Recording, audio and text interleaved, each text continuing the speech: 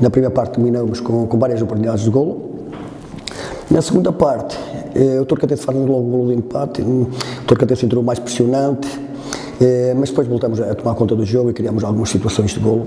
Portanto, penso que o resultado, penso que o resultado da vitória assenta muito bem aos Chaves.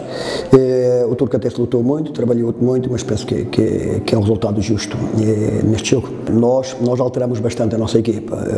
Estão a jogar quatro, quatro jogadores de início que não têm jogado, o que falta algum andamento, e há algum cansaço, estava algum calor, e depois o cansaço começou-se a acumular. Viu-se que, que nós faltávamos depois já alguma decisão, já o acumular do cansaço.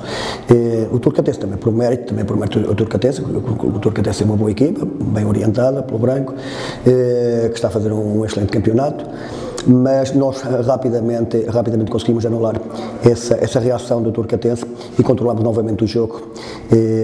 Eu penso que em algumas situações devíamos ter sido mais pacientes, mas não nos vamos esquecer que são jogadores com 19, 20 anos e alguns deles é a primeira vez que estão a jogar neste campeonato e falta, falta essa maturidade, falta essa, essa experiência. Mas tenho que estar muito satisfeito com, com aquilo que os jogadores fizeram hoje aqui. É uma vitória, são três pontos. Há que pensar já agora, agora no jogo com, o Montalegre. Foi um jogo difícil, eh, era uma boa equipa ao Turcatense, como nós já sabíamos, mas, mas nós viemos, não temos qualidade, jogamos bem, bem o nosso futebol e, e o resultado acabou por aparecer e já merecíamos isto há muito tempo.